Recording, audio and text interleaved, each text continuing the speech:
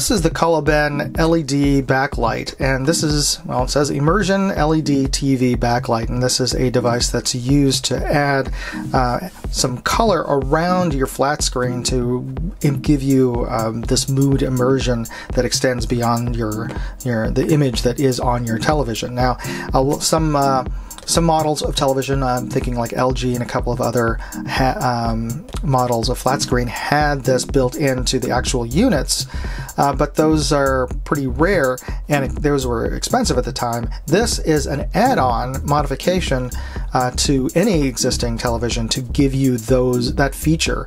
And this is put out by a company, Coliben, and I don't seem to see any of their branding on this device at all, other than it says Coliben on the uh, barcode in the back. But um, you know, they sent it out to me for testing and evaluation, so we're gonna do that. Let's see what's inside. We have a user manual, camera screen sync controller manual in English, and huh. This looks like all about instructions on using it with a uh, app for your phone. I'm guessing that's what Tuya is. It must be a downloadable app. Yep, a download app for iOS or Android, but doesn't have any instructions on how to install this itself. Let's see if it has anything underneath. No. The, nope, no, it doesn't have anything either. So I'm going to figure this out. It shouldn't be too difficult, um, but I'll show you, you know, what I did to install this, obviously. And let's take a look at what the components are. We have our LED strip here. Interestingly enough, this is on a 10 millimeter reel here. For those of us who are old enough to remember uh, reels, this is a, a, film reel or magnetic tape reel.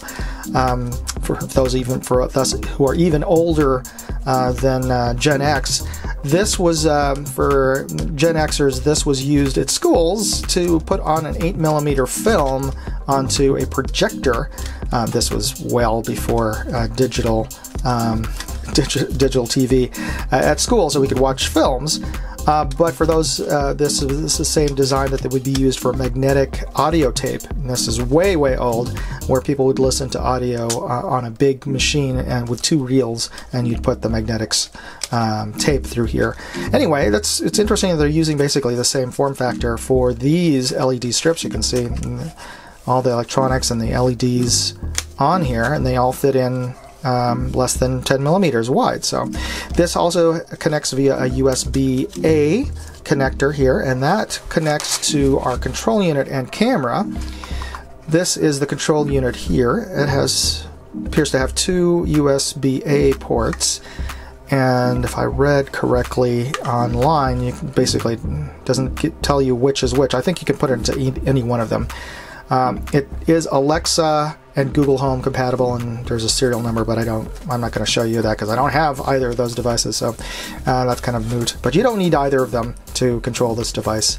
This is the actual camera to the to the um, control unit itself. This uh, hangs above or mounts above your your television, and this camera looks at your TV screen and um, translates that into different colors that will be output while connected while connected uh, to the LED strip and um, change the colors around it.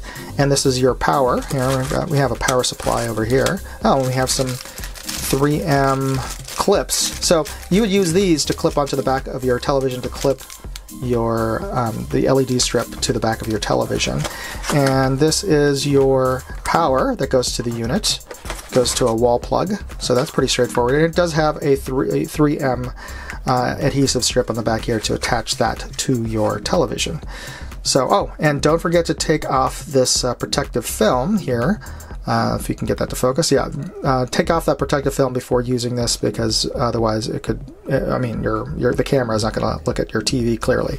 Anyway, um, let's take this over to the TV and figure out how it all assembles.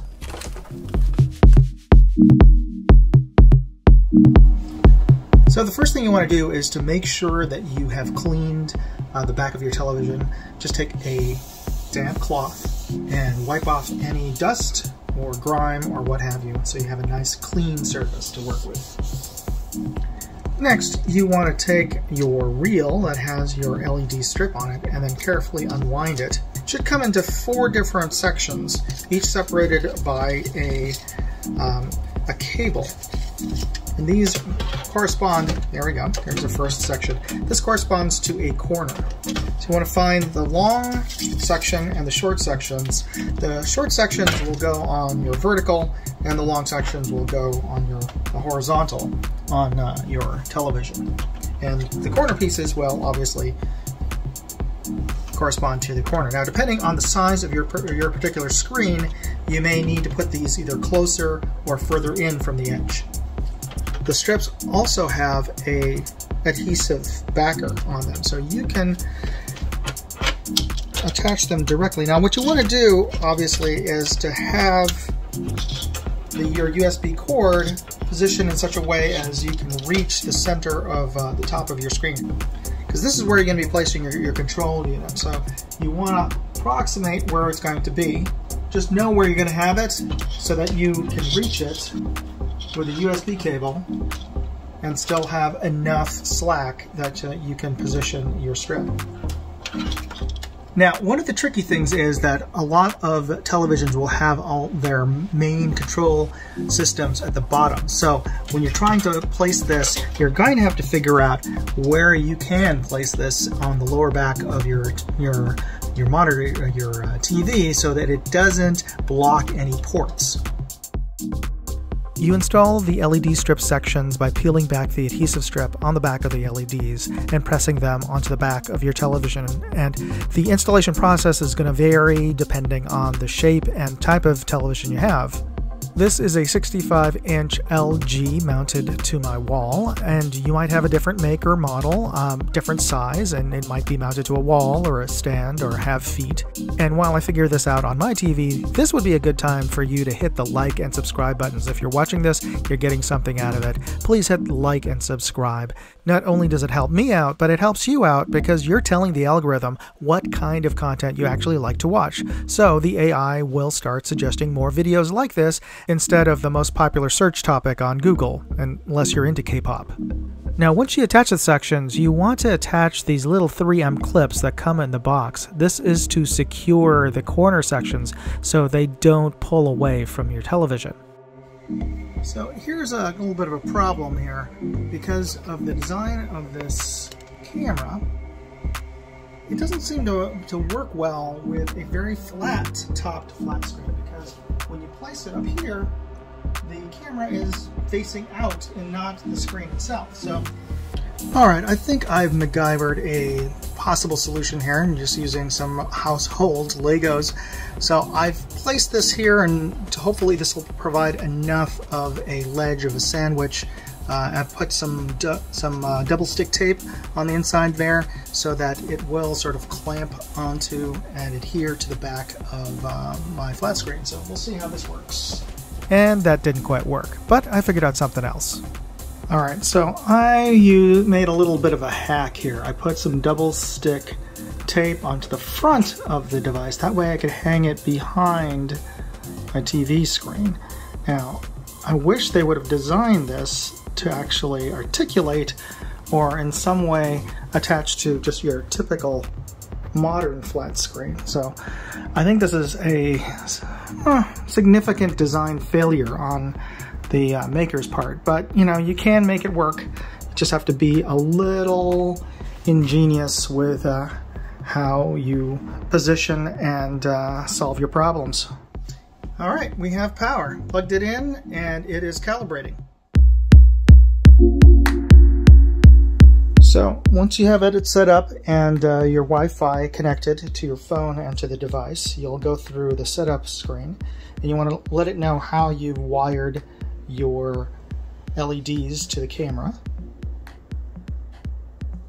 And then you want to turn, make sure that the TV is turned off. And you should be able to see if all things are connected properly. You should see what the camera is seeing on your smartphone. So tell it that the screen is off and then turn on your screen. And you should put something on that um, is uh, fairly stable in terms of what, what it's seeing. In this case, this is a screensaver. And tell it that the screen is on, and if all things go correctly, there we go. It is actually syncing to what it is seeing on screen in terms of the color. So this is the TV without LEDs. And this is with the LED system on. And this is the multicolor mode, which is the sort of default starting mode. There's also a monocolor mode, and quite a few other modes. Some of them quite garish or uh, fun, depending on your point of view. These are different color themes or moods that you could find on the app. And there are musical theme modes that utilizes the unit's built-in microphone to listen for musical or audio beats. So a lot of fun at parties or karaoke at home, but if you have any sort of epileptic seizures, I'd probably stay away from that mode. So, the Coliben LED backlight system. If you're interested in picking one up, you can find links in the video description or on my blog at moondogindustries.com. And definitely use those links because it helps support this channel. And you can support this channel for free by just hitting the like and subscribe buttons. Thanks for watching. Moondog, out. Hey, if you enjoyed this video, please share it on forums, Facebook, Reddit, TikTok, Instagram, Twitter, MeWe, whatever social media you're on. And if you want to see all of my videos, check out moondogindustries.com.